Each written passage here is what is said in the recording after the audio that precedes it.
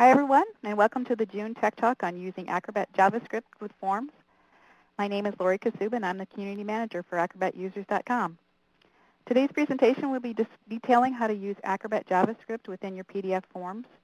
We'll be detailing the basics on how to enter scripts, how to perform common tasks, and the do's and don'ts of JavaScript and scripting that will work in Adobe Reader. As just a reminder, this Tech Talk is being broadcast voice over IP, so be sure to turn your computer speakers up.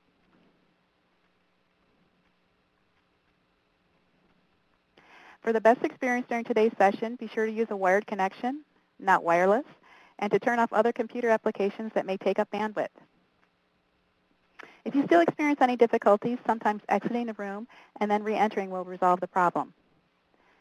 This Tech Talk is also going to be recorded, so you can come back and review portions of the demonstration at your leisure. We will post the on-demand version on acrobatusers.com later today. We will also have sample files available for download at the end of today's presentation.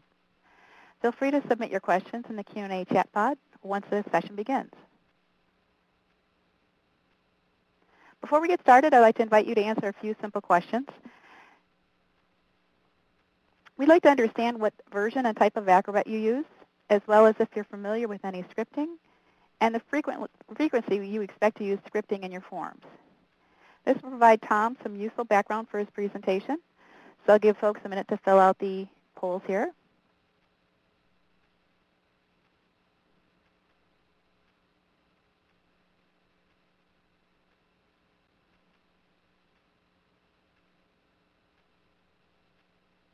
It looks like almost everyone's finished uh, answering the polls. And most of you are using, at this point, Acrobat 9, the Pro version, with some experience in JavaScript, uh, just simple scripting on the forms, the, the plans. And do you plan on using the form technology for Acrobat forms more than LiveCycle forms? So thanks, everyone. Appreciate your feedback. And now I'd like to introduce today's presenter. Thom Parker is one of the most active experts on our site, especially in the JavaScript and Forms forums, where he has answered thousands of questions. He's also an Acrobat consultant with his company WindJack Solutions, where he spends much of his time developing custom scripted solutions for clients and providing online training in Acrobat and PDF scripting topics. Thanks for joining us today, Thom. Uh, thank you, Lori, and welcome. Oops, sorry about that. I, let's go up to the front and welcome everybody to inside the Acrobat JavaScript SDK. So a little variation on the, uh, the topic that Lori mentioned, but it's actually along the same lines, only a little bit broader.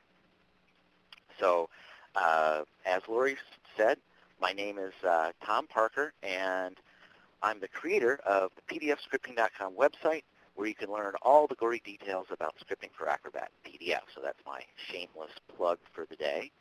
Uh, so let's get started right away on what is an SDK.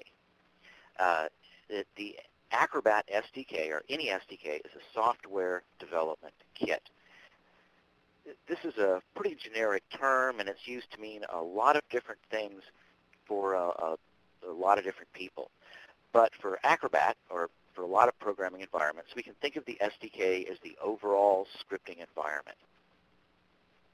And the things that you need to actually develop code in that scripting environment are a programming language, a library of relevant features, and we need ways to use that pro we, need ways to enter code, run the code, and debug the code. And this is what we're going to be covering in this session. I'll be providing a bird's eye view of the Acrobat scripting environment and how it all fits together. So what I want to do here is to give you the essential information that you need to get started in scripting. But we will be looking at some specific form details. And in fact, there are a couple of example files that I have posted in the SharePod that Lori will show at the end of the session. These are two forms, one acro form or acrobat form and one LiveCycle form. And uh, I designed these forms to cover all the sort of main aspects of form scripting and those two different forms technology. And I'll be touching a little bit, at the end of the session, I'll be touching a little bit on those forms and some of the scripting specifics. However, as we're going to see in just a little bit here, uh, form scripting is only part of the overall Acrobat JavaScript environment. So, to start off, what's JavaScript? JavaScript is, of course, the programming language that's used in PDF and Acrobat scripting. JavaScript is a full-featured programming language. Now, for a programming language, it's a very simple one, but it's more than just a simple scripting language. It really is a complete programming language. However, JavaScript doesn't stand on its own.